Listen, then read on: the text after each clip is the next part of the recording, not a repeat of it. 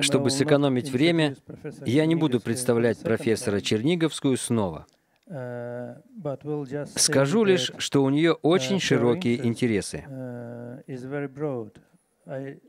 Я представил ее как специалиста по нейролингвистике, но из названия ее доклада видно, что она затрагивает даже вопросы квантовой физики.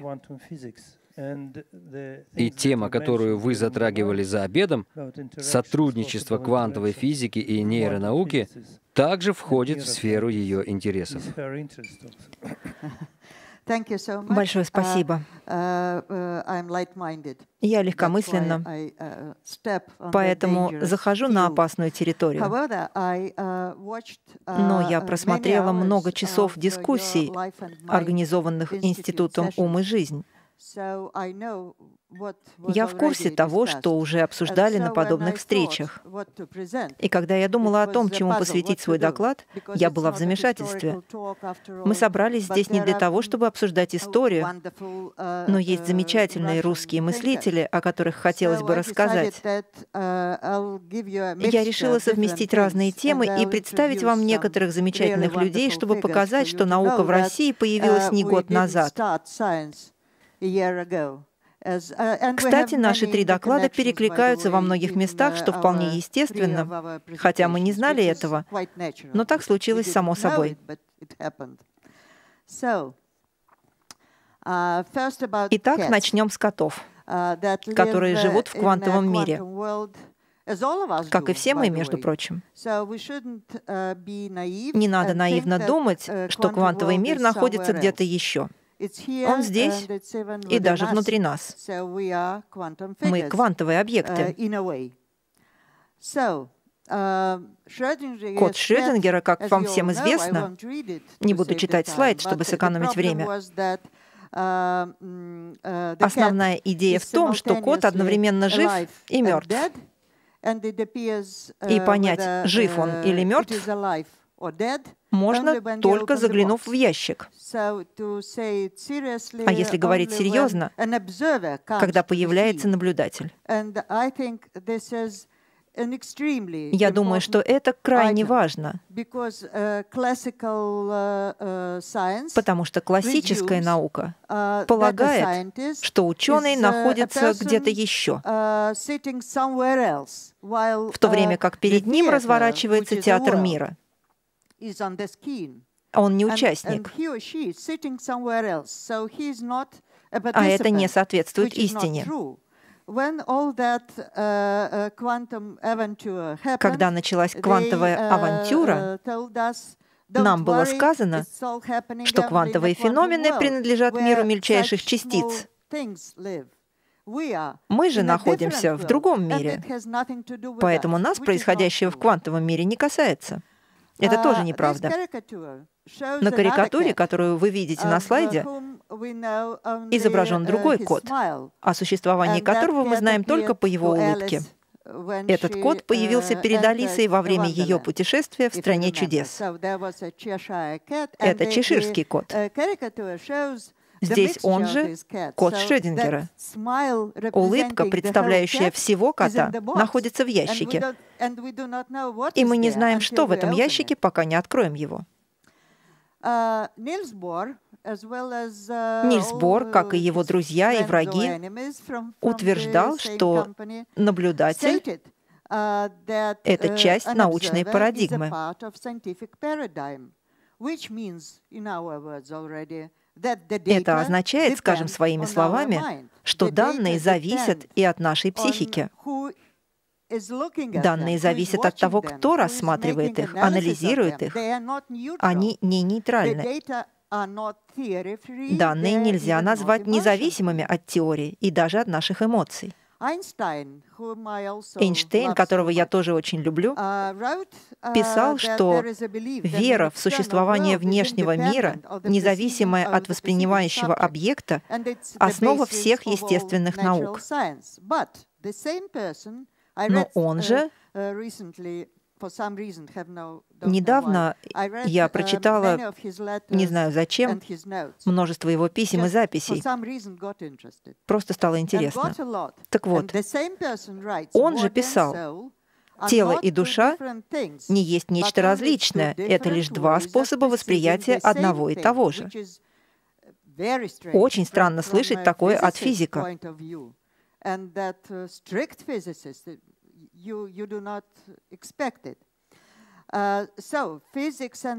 И далее он приближается к проблеме психофизического параллелизма.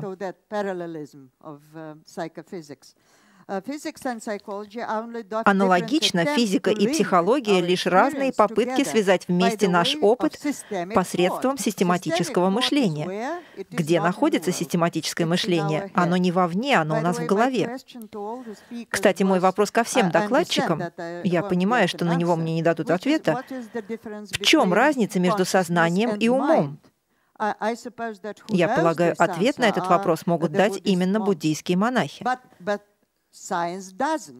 Но наука молчит, потому что это лингвистические хитрости. Никто не в состоянии хорошо сформулировать, что такое сознание или ум. Это тайна. Далее, Ваше Святейшество, идут люди, которые ставили вопросы, некоторые из них мои — Э, э, Антон Цайлингер как-то воскликнул, почему мир такой странный? Восклицательный знак. Ученые им почти никогда не пользуются. Итак, макромир стабильный. В нем есть камни, столы, стаканы. А в микромире мы не знаем, что существует в микромире. Uh, Его объекты здесь или там, или нигде, или одновременно здесь и там, что недоступно нашему пониманию. Uh, как я уже говорила, мы, наблюдатели, тоже квантовые феномены. Мы все знаем о наших ограничениях разного рода, в первую очередь чувственных. Диапазон слуха, зрения, осязания, но также и в мышлении. Я вернусь к этому позже в связи с моим любимым философом Иммануилом Кантом, который со всей очевидностью сказал это всем. Развитый мозг позволяет наблюдать собственную деятельность. Это ключевой момент, uh, uh, потому что это метакогнитивная uh, функция, функция, направленная на функцию. Но проникнуть в сущность некоторых um, процессов невозможно. Например, в случае ментальной грамматики или языковой деятельности, о которой я скажу позже are not are impenetrable. You, you do not know how it's being done. And um, Далее разворачивается главная трагедия. Uh, Есть ли в мозге место для самости? Uh, а нужна ли нам эта информация? Нужна ли нам эта локализация? Уже несколько uh, месяцев, если не лет, меня очень беспокоит этот вопрос. Зачем нам нужны эти адреса? Зачем мне знать, где в моем мозгу вилка, стакан? Дает ли это мне какую-то важную информацию? Нет, потому что корреляция не дает причинности. А именно она нам нужна. Нам не нужны адреса очков и карандашей. Uh, Классическая наука — наука от третьего лица. Uh, В рамках этой науки мы uh, зрители. Есть парадокс, который замечательно сформулировал um, один из моих коллег и друзей, коллега Давида Дубровского, професор Лекторский. В одной из книг он писал, что мозг находится в мире, а мир находится в мозгу. Что же нам делать с этим? Парадокс. Ни начала, ни конца. Опыт первого и третьего лица все еще представляет большую проблему. А квалия, если говорить об искусственном интеллекте, чужом сознании, Можно ли передать им квалия? Есть ли для этого материальная или хотя бы какая-нибудь база? Можно ли куда-либо в какой-либо форме передать опыт первого лица? Um, uh, И, конечно, uh, профессор Александров говорил об этом. Познание отелеснено. Мы такие, как есть, потому что у нас такие тела.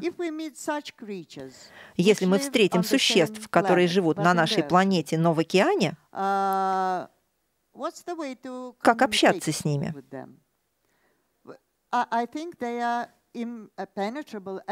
Я думаю, что между нами совершенно непреодолимая стена, через которую невозможно получить или передать информацию. Конечно, можно получить знания о физической природе, звуки, которые они издают в воде, но это ничего не дает для ответа на наши вопросы. Теперь uh, несколько uh, русских имен. Поразительный русский физиолог uh, Алексей Ухтомский, Алексей Ухтомский писал очень давно. Я уверена, что он ничего не знал о квантовой физике. Нет объекта без субъекта, как нет субъекта без объекта. Uh, И следующая фраза близка к тому, что говорите вы, ваше святейшество. Мы не наблюдатели, а участники бытия. Наше поведение — труд. Природа наша делаема. То есть мы не рождены чем-то окончательным, хорошим или плохим. Мы должны строить, конструировать, формировать себя. Поразительно, что это написал физиолог, и что он написал это так давно. Uh, um, uh, Два русских философа, Мамардашвили и Пятигорский, в разных работах, написанных ими совместно и по отдельности, говорили о том, что сознание и бытие формируют континуум, а мышление и бытие совпадают. Мамардашвили также много писал об антропном принципе.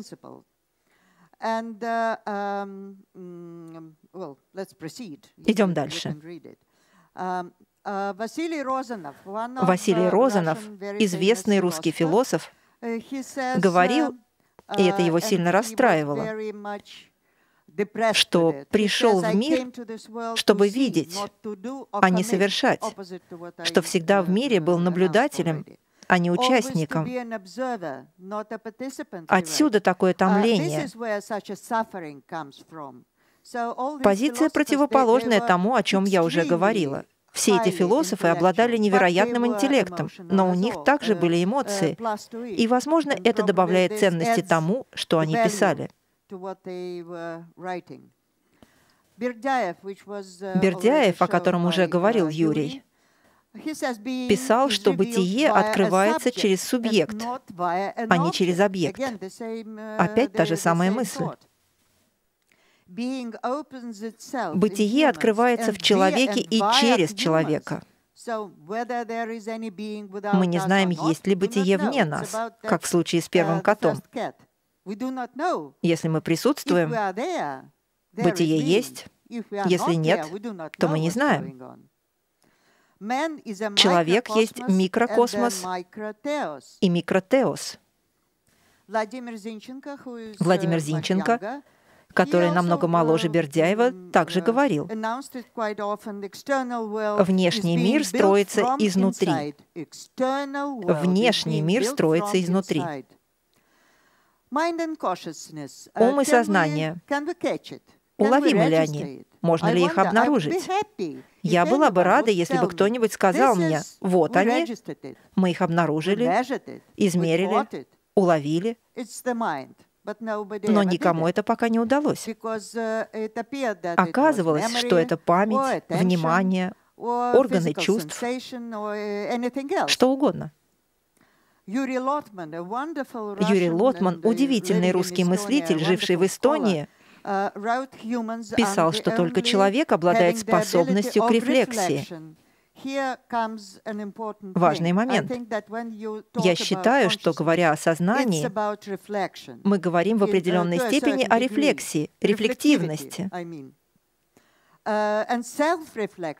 И только человек способен к саморефлексии, что еще важнее. Этой методеятельности, дающей нам способность взглянуть на себя. Um, well, let's uh, uh, drop it. Пропустим следующий слайд. Uh, Роджер Пенроуз, который, конечно, не русский ученый, но был в Москве и Санкт-Петербурге несколько лет назад и делал доклад на моем семинаре по когнитивистике. Замечательный доклад. И оказалось, что его бабушка была из России, о чем я и подумать не могла. Мы даже нашли дом, в котором она жила, и в нем сейчас находится консульство США. Итак, Роджер Пенроуз, физик и космолог, много лет назад занимался проблемой uh, сознания. Um, и в этой связи писал, uh, что машина Тьюринга uh, и алгоритмы не помогут нам его понять, потому что сознание алгоритмично лишь отчасти.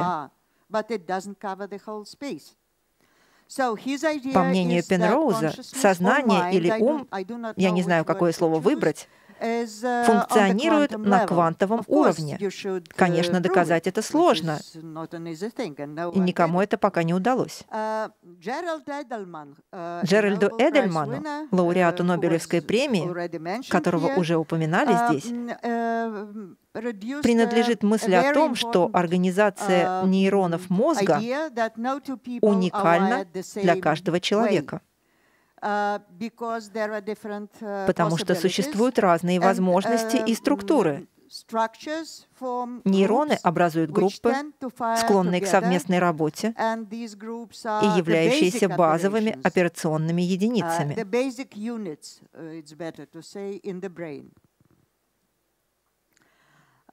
So, um, up to him по Эдельману мы имеем дело с огромной сетью, включающей множество феноменов, в числе которых, что важно для нас, концепты. Можно ли найти концепты в нейронах? Или нейроглия, вы можете найти их, но речь будет снова идти о коррелятах. Нельзя уловить концепты в этой сети. Тем не менее, мы имеем дело с концептами картами, картами карт, чем занимается Константин. Uh, Конечно, мозг нельзя считать компьютером в привычном нам смысле. Это хорошая метафора, но всего лишь метафора.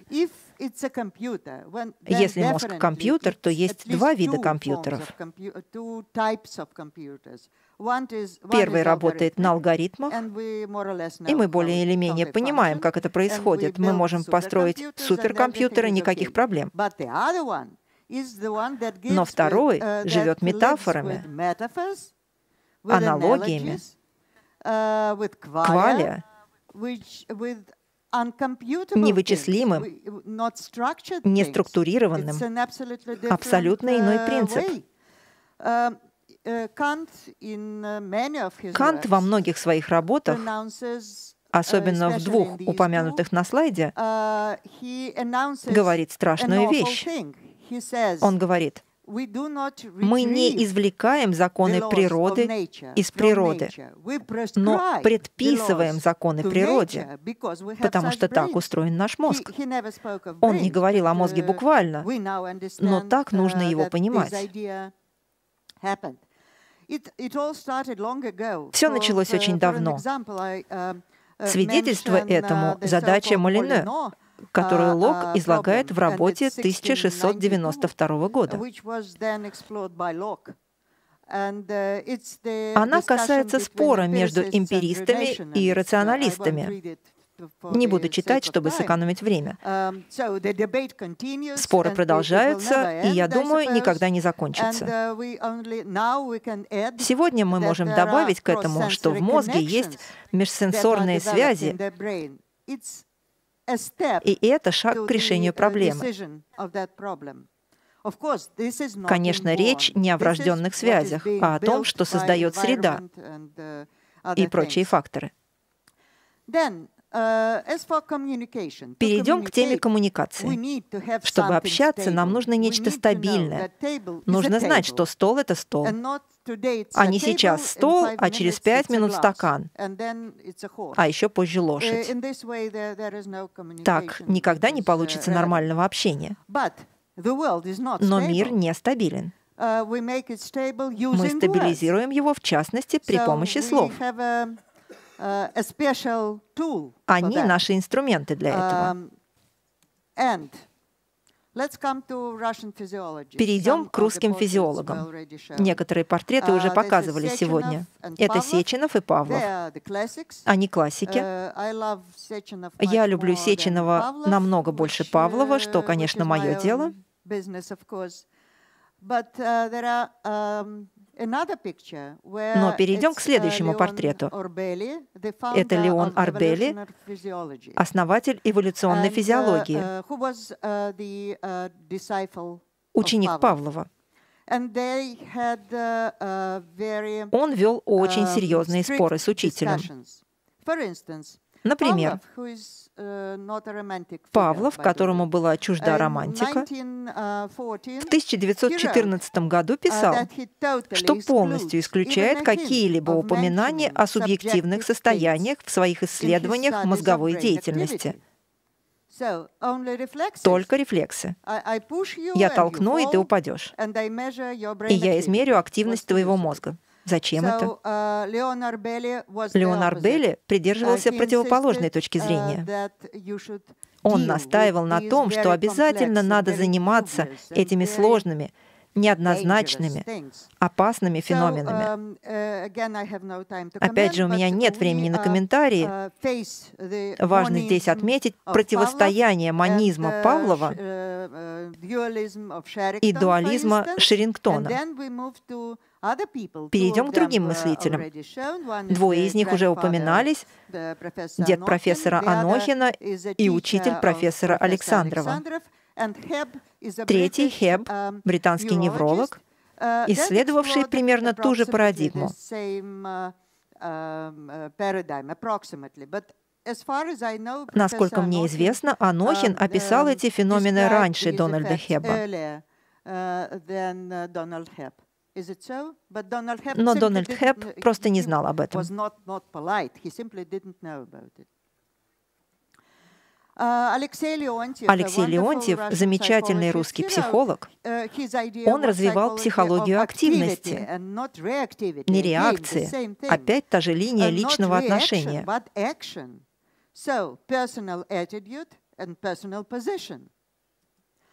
Владимир Бехтерев, Владимир Бехтерев, которого здесь уже тоже представляли, споривший с Павловым, они были почти врагами.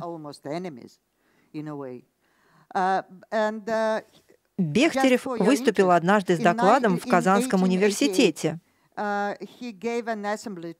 Тема доклада на слайде. И в докладе он говорил о бессознательном за три года до Зигмунда Фрейда. Это опять же о незамеченной информации. Об этом десятилетия никто не знал, а если и знал, то не осознал. Сеченов написал фантастические слова, uh, которые я случайно нашла. Случайно. Uh. Книга свалилась на меня с полки и открылась на нужной странице. И я прочла, что для мозга не имеет значения, происходят ли события в реальности или их воображают. Как это могло быть? Uh, Он не мог об этом знать.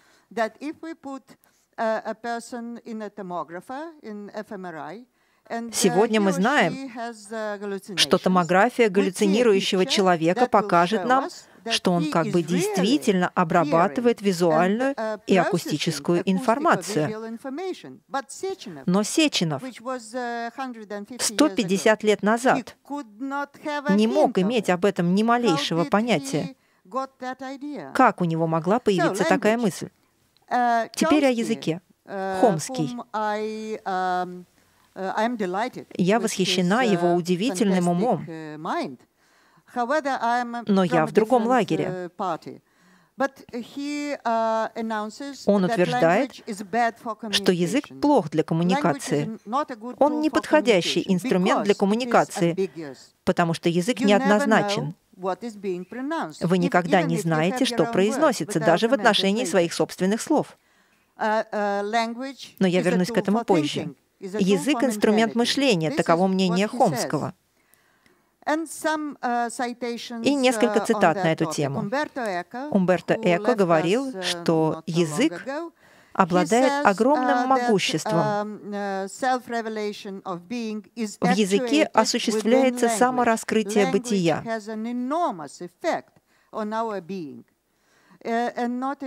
И не в тривиальном смысле, что говорящие на финском обладают ментальностью, отличной от ментальности говорящих на русском или хинди или любом другом языке.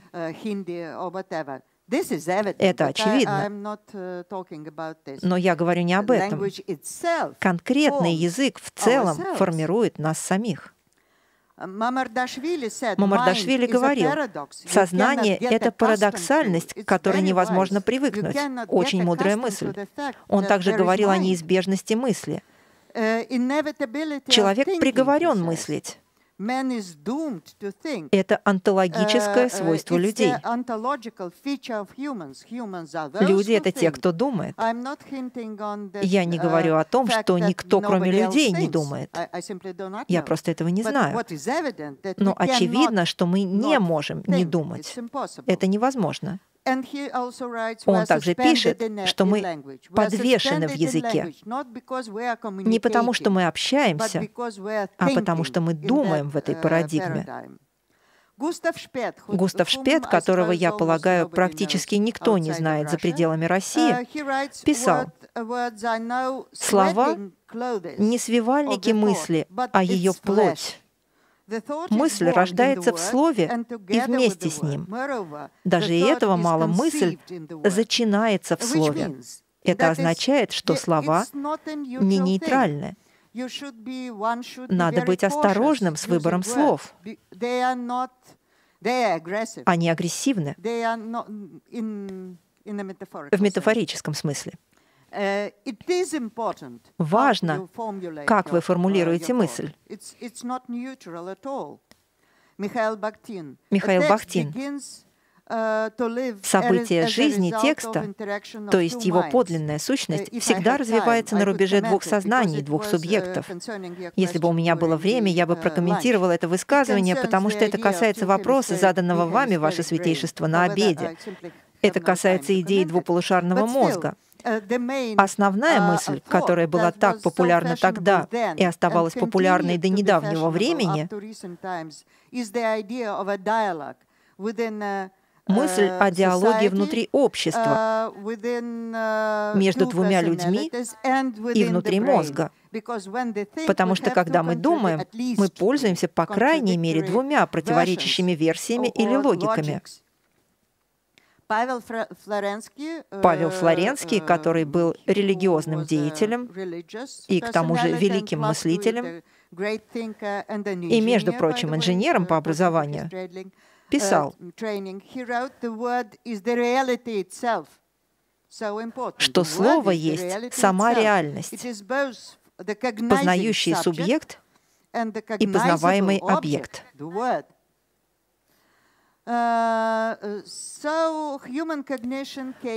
Познание человека следует за развитием его анатомии или нет?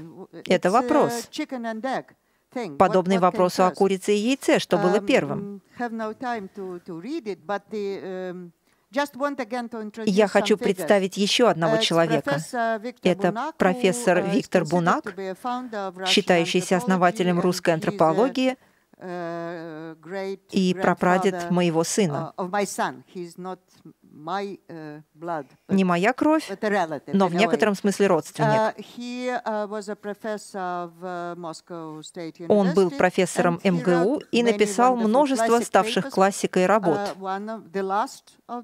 одна из которых род Homo, его возникновение и последующая эволюция.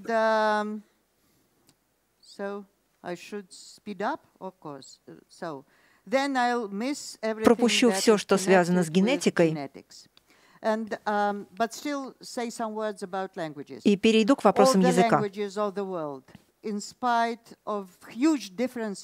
Все языки мира а в мире существует от 6 до 7 тысяч языков на планете, в зависимости от того, как считать. Uh, uh, uh, так вот, несмотря на огромные различия между ними, они все обладают общими характеристиками. Фонология, рекурсия в синтаксисе, универсальные, возможно, врожденные характеристики. По крайней мере, школа Хомского и другие структуралисты говорят, что у языков есть эти врожденные, имеющие генетическую основу характеристики. Врождены не языковые средства конкретных языков. Это было бы абсурдно. Но некоторые самые базовые характеристики, имеющие значение для всех. Это очень сложный код. Uh, uh, что еще более ужасно, то, что он неоднозначен. Он постоянно меняется, uh, но в реальном времени нам необходимо анализировать все уровни языка сразу. Фонология, морфология, синтаксис, не говоря уже о прагматике или семантике which is an absolute horror.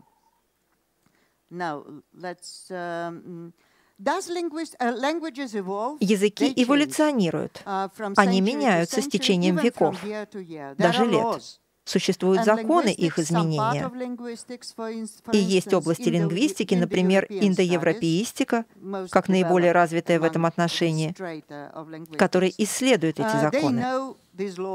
Они объясняют, как происходят такие изменения. И они могут проследить эти изменения от их истоков, uh, узнать, каковы были первые языки, uh, первые звуки uh, и тому подобное.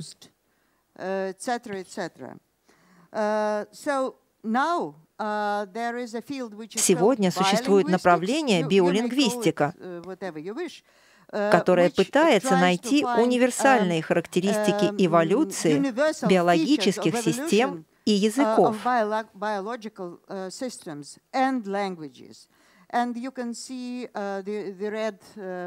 Внизу слайда красным Отмечены термины биолингвистики, и это биологические термины. Педоморфизм, неотения, рекапитуляция, гибридизация, моно- и полигенез и так далее. Это очень интересная и хорошо разработанная сфера исследований.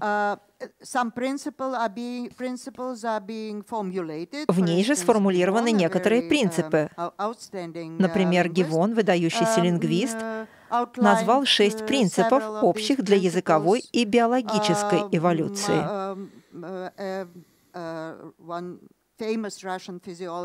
Известный российский физиолог и биохимик академик Наточин и я написали на эту тему несколько статей, в одной из которых от происхождения жизни к эволюции организмов и информационных систем. мы пытаемся найти принципы, относящиеся ко всем этим системам.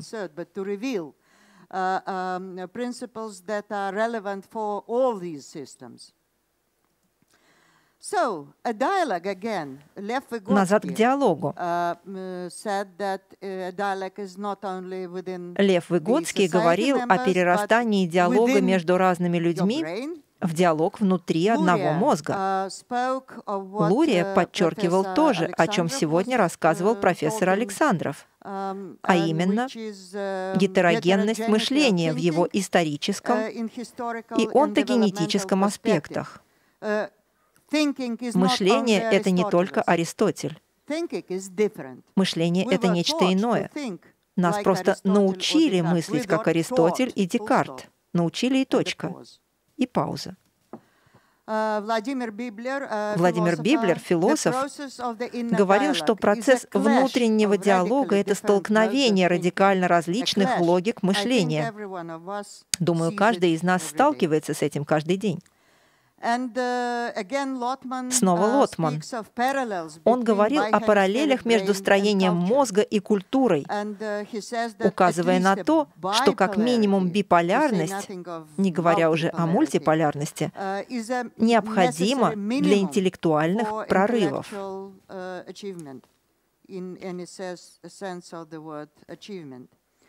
А что математика? Uh, математика объективна? Или это язык uh, мозга? Ведь uh, Галилей говорил, что книга природы написана на языке математики. Чтобы исследовать природу, нужно обладать знанием математики. Но Математика состоит из априорных синтетических знаний. Откуда происходит эта априорность? Uh, Очень важный вопрос. Если мы познаем истоки математики, мы, вероятно, познаем истоки любого абстрактного знания, которое мы получаем не из опыта. Все, что мы uh, получаем из опыта, можно понять. Пусть это и потребует определенных усилий, но априорное знание Откуда оно берется? Борис Раушенбах, известный академик, математик, человек, uh, который даже участвовал в создании топлива для uh, космических ракет. Uh, в последние годы жизни его критиковали за идею, um, что математика доказывает невозможность описания полной картины мира.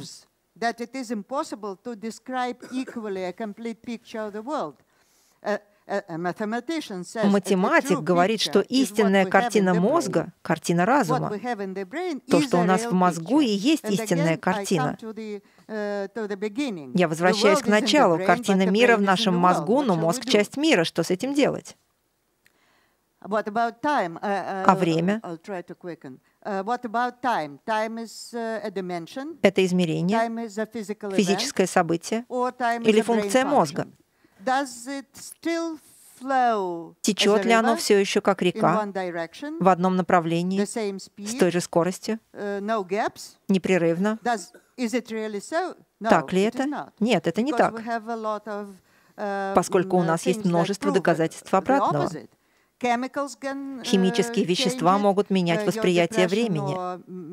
Маниакальные или депрессивные состояния меняют его и так далее. Где же время? В мозгу? И размышления о природе времени начались не пять лет назад. Uh, Августин Блаженный много написал об этом. Он писал, что мы, возможно, все время живем в настоящем, но где оно? Uh, Одни из моих любимых книг об Алисе. В «Стране чудес» и в «Зазеркалье». Uh,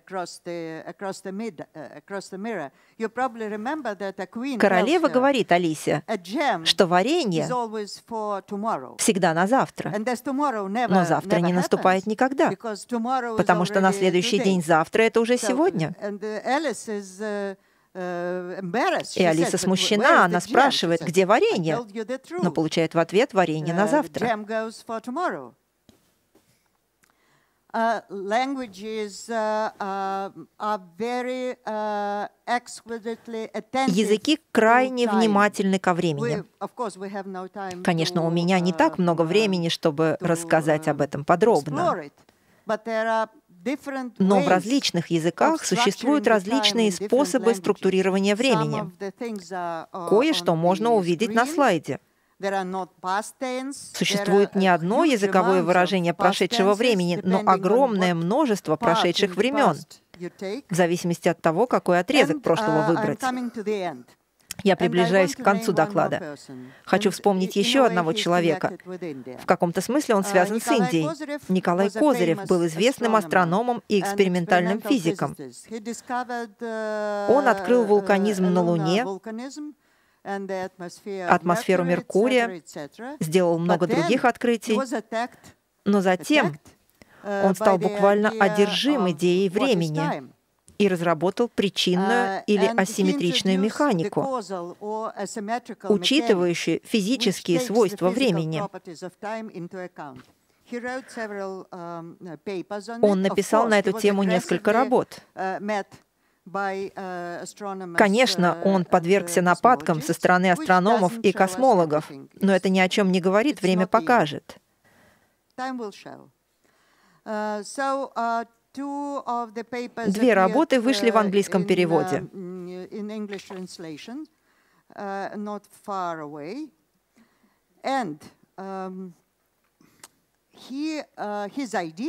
Согласно Козыреву,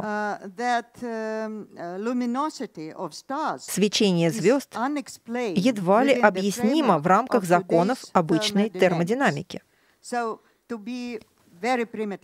Если сказать простыми словами, он не говорил этого, но я попытаюсь. Звезды питаются временем. Его идея заключалась в том, что время можно исследовать как физическое событие. На слайде можно видеть его работы, и он ссылается на замечательного лауреата Нобелевской премии индуса, который также встретился с неприятием своих идей основной массой научного сообщества. На слайде его портрет. Он также разработал странную теорию предела, названного его именем, которая не была принята представителями традиционной физики. Судьба его была схожа с судьбой Козырева. На следующем слайде мы видим Пенроуза, изучающего знаменитую диаграмму Чандрасикара.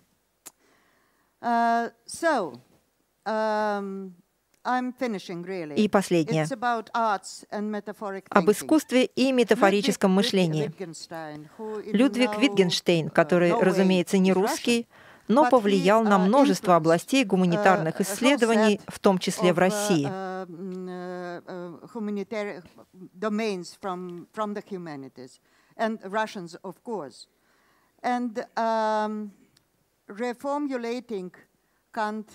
Переформулируя Канта и других, я бы хотела задать несколько интересных вопросов. Представим себе, что люди исчезли с лица Земли. Представим, что мы продолжим вести себя так же, как и сейчас, и никого не станет. Останется только Трамп. Будет ли существовать музыка, математика? И я не говорю о бумаге, на которой написаны формулы или партитуры. Нет. Будут ли математика и музыка существовать без слушателя и мыслителя? Uh, Мой ответ — нет, ничего не будет. Uh, Витгенштейн использовал прекрасную метафору, uh, говоря о текстах, о лингвистике, описывающей тексты.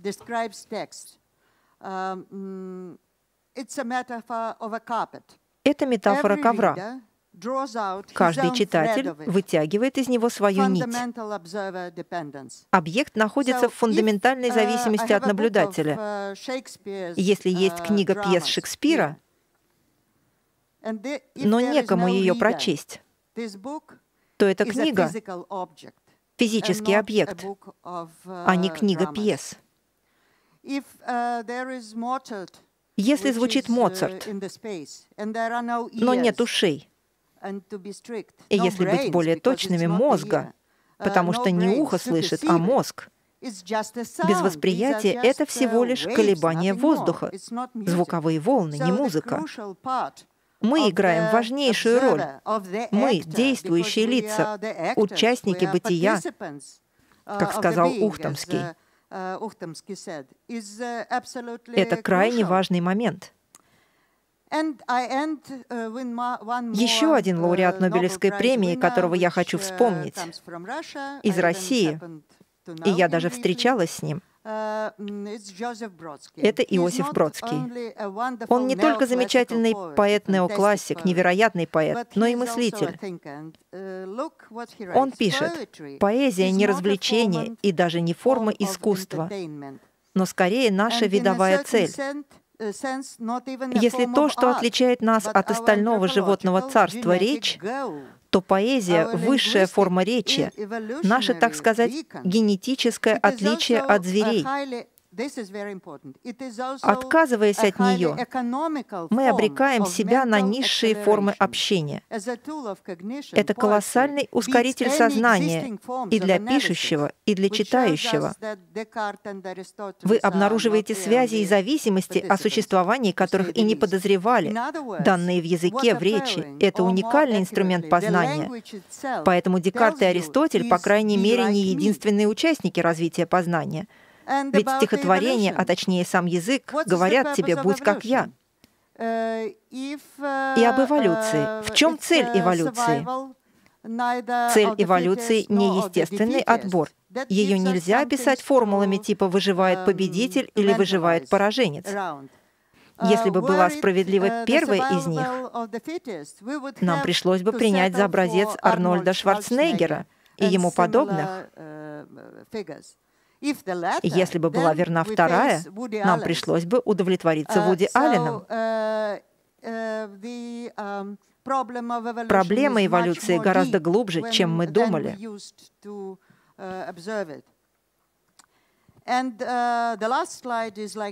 Последний слайд. Поэзия говорит человеку, что душе его предстоит еще uh, долгий путь. Во время чтения становишься тем, что ты читаешь. Становишься состоянием языка, которое именуется uh, стихотворением. И его прозрение или откровение оказываются твоими. Они остаются твоими, и когда ты закрываешь книжку, поскольку нельзя вернуться назад туда, где у тебя их еще не было. В этом и заключается суть эволюции.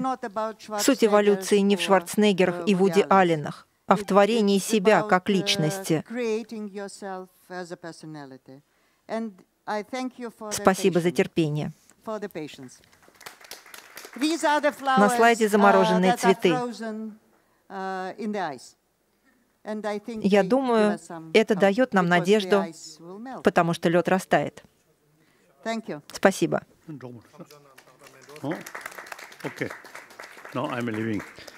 Я сейчас ухожу. Спасибо. Очень интересный доклад.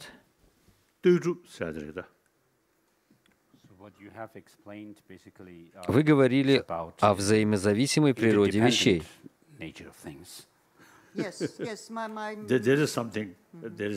Если есть это, то будет то.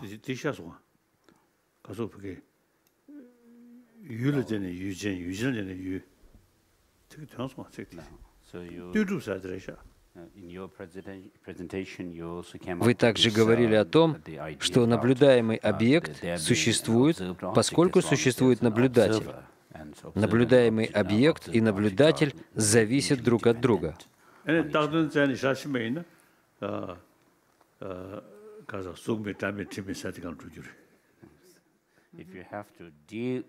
Если погрузиться глубже в природу вещей, то вы обнаружите, как говорилось в сутре сердца, что нет глаза, уха, носа и так далее. Да, я намекала на это. Я не специалист в буддизме, конечно, но я кое-что читала. В своем докладе вы также ясно показали, что вещи существуют лишь на уровне обозначений.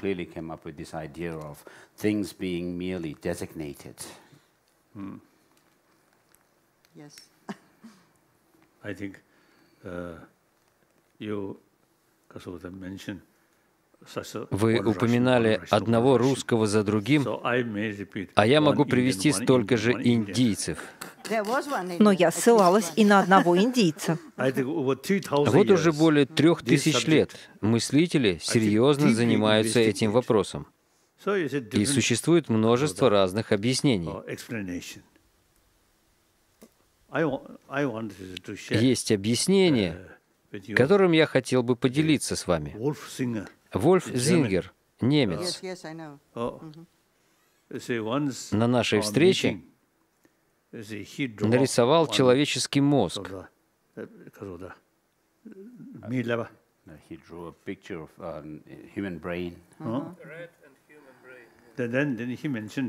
А затем сказал, что в нем нет центрального органа управления. Все части мозга взаимосвязаны, работают вместе как сеть. Он упомянул, что буддийское понятие бессамостности как нельзя лучше вписывается в это представление. Никакого центрального органа управления. Спасибо, мне очень понравился ваш доклад. Замечательно. Согласно моему режиму, я ложусь спать около шести вечера. Я просыпаюсь в три утра, не позже половины четвертого, для медитации. Пришло время отдыха.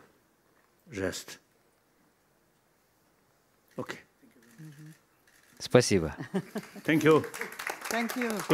Спокойной ночи. До встречи завтра.